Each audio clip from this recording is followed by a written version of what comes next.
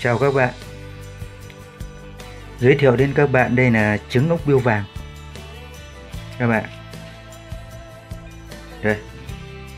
Video này mình sẽ ăn thử cái trứng ốc biêu vàng này nấu mấy chuối. Các bạn nhé. Nấu mấy quả chuối. À, mình ăn xem là nó có ngon không. À, video này mình cũng là mới là ăn thử thôi. Mình khuyên các bạn là không nên làm như mình nhé. Và theo dõi mình xem mình ăn nó có ngon không ạ. Các bạn nhé. Và này, đây là lá lốt, tỏi và ớt. Cái món này chắc là tanh lắm. Đây là quả chuối các bạn mình sẽ cho um, ốc um, trứng, ốc bươu vàng vào. Chảo mình xào lên xào mỡ. Các bạn.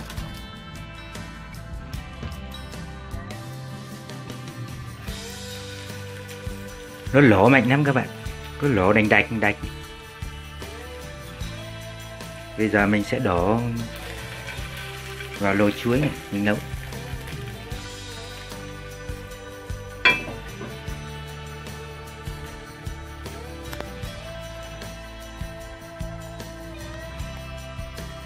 Vậy là lồi ốc, trứng ốc biêu vàng, nấu chuối đã chín các bạn. Nhìn cũng khá là hấp dẫn đấy. Bây giờ mình sẽ ăn thử các bạn nhé. Mình sẽ um, múc ra bát mình ăn thử. Các bạn, đây, trứng nữa này. Này, chắc phải ăn nóng. Này, mình cho gia vị đầy đủ nhiều bộ trứng nó tan ra các bạn.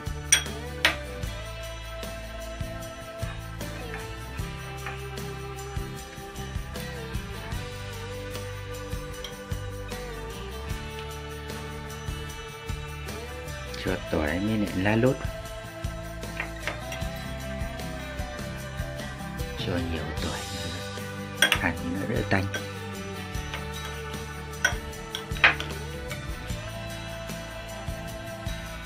Thì ăn thử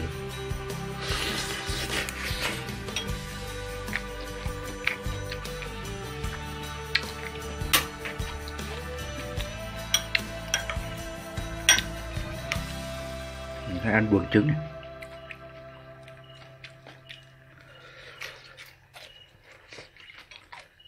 Uhm.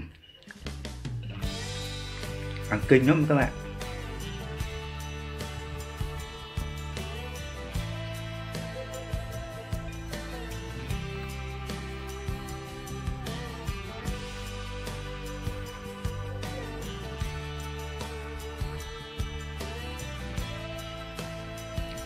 ăn kinh lắm các bạn. Vừa mình ăn thử rồi. Ăn nó cứ lạo xạo lạo xạo nên nó tanh, nó hôi. Ăn miếng chuối thì còn đỡ. Ăn bằng miếng trứng thì nó tanh, kinh khủng. Nói chung là không ăn được. Có cái ông ở chỗ mình ấy, ông ấy cũng bảo là ăn được. Ông ăn thử rồi, ngon lắm. Mà hôm nay mình thử làm nhưng mà ăn rất là kinh.